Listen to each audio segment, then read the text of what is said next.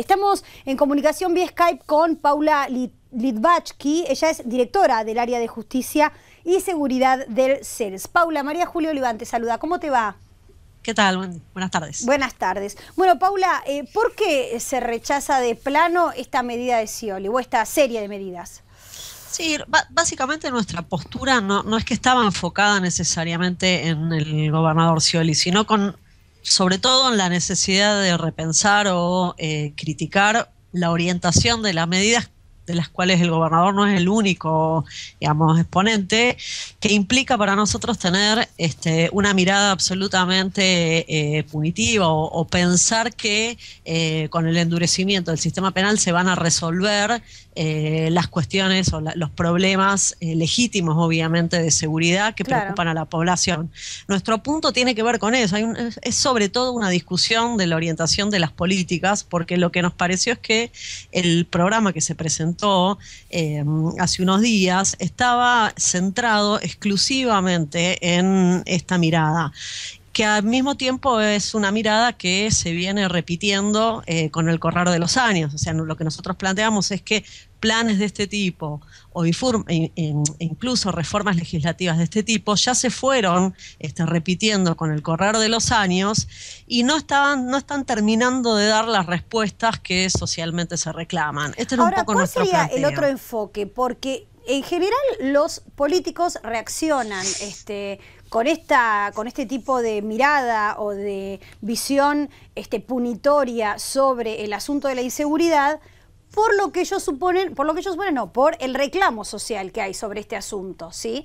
Ahora, ¿cuál sería, de acuerdo a los estudios este, realizados ¿no? en el mundo y de los que ustedes seguramente este, están al tanto, eh, la mirada más interesante para resolver el tema de la inseguridad que se contrapone con esta, que es tal vez más chiquita o más eh, sectaria, ¿no?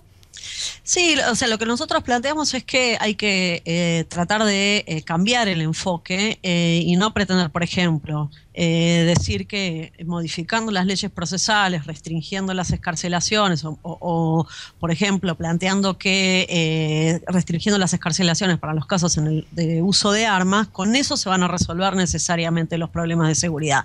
Lo que nosotros planteamos, por ejemplo, en el caso de las armas concretamente, es que sería mucho más eficaz que el Estado oriente sus investigaciones hacia el mercado negro de armas, por ejemplo. O sea, una cosa es plantear que se incautan eh, armas ante determinados procedimientos, eh, lo cual, digamos, puede ser necesario cuando uno hace un procedimiento y, encuentra armas eh, que son ilegales, pero lo más interesante es que el Estado pueda realizar esfuerzos para que las investigaciones vayan dirigidas a, ver por qué hay un mercado negro de armas, por dónde circulan, quiénes son los responsables.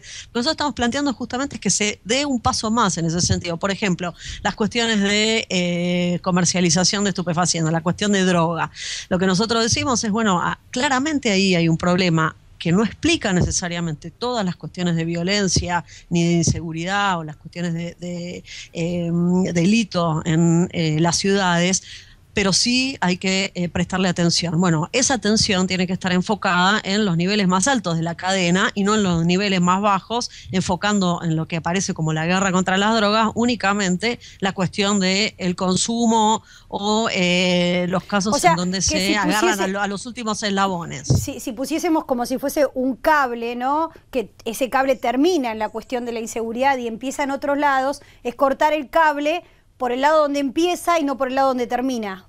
Bueno, de alguna manera sí, exacto. Ah, hubo otras experiencias, por ejemplo, esto para, para, hablarlo en los pocos minutos que tenemos acá, la experiencia de la investigación de los desarmaderos. Eso sin duda trajo un impacto mucho más interesante respecto de los hechos de violencia que se cometen en, los robos de automotor eh, que eh, la cuestión de levantar las penas Claro. porque hay una, hay una, eh, una, uno de los puntos que nosotros tenemos, hay una ilusión penal respecto de que si uno aumenta las penas, esto se va a traducir necesariamente en un impacto respecto de la seguridad de la población. Y esto es lo que nosotros queremos llamar la atención. Hay un sentido común instalado ahí que hay que cambiar. Si uno modifica las penas, no necesariamente eso se traduce en eh, una situación de mayor tranquilidad para la población. Para eso hay que enfocar la justicia, las investigaciones judiciales, el trabajo de la policía tiene que enfocarse para ese lado y ni hablar de lo que implica pensar las policías hacia adentro. O sea, lo que nosotros le planteamos al gobernador Scioli es, nosotros entendemos que se necesita un trabajo policial mejor y más inteligente. Ahora, con esta bonaerense, la pregunta es, ¿cuáles son los planteos, las estrategias, eh, los planes que están teniendo para reformar a la propia policía bonaerense, que es parte del problema para nosotros eh, hoy por cómo funciona? O sea, por ejemplo, las mm, academias, de, la, Academia de Policías que siempre anuncia Scioli que va a ser como eh, el gran motor de la cantidad de hombres que se necesitan para reforzar la seguridad. Ustedes dicen que reproduce los mismos parámetros de la antigua policía o de la policía. Si no se cambia la matriz, si no se cambia la matriz de funcionamiento de la propia policía, poner más escuelas no van, no va a cambiar necesariamente el resultado o va a ser una cuestión que lleve este, a un larguísimo plazo. Hay una cuestión que tiene que ver con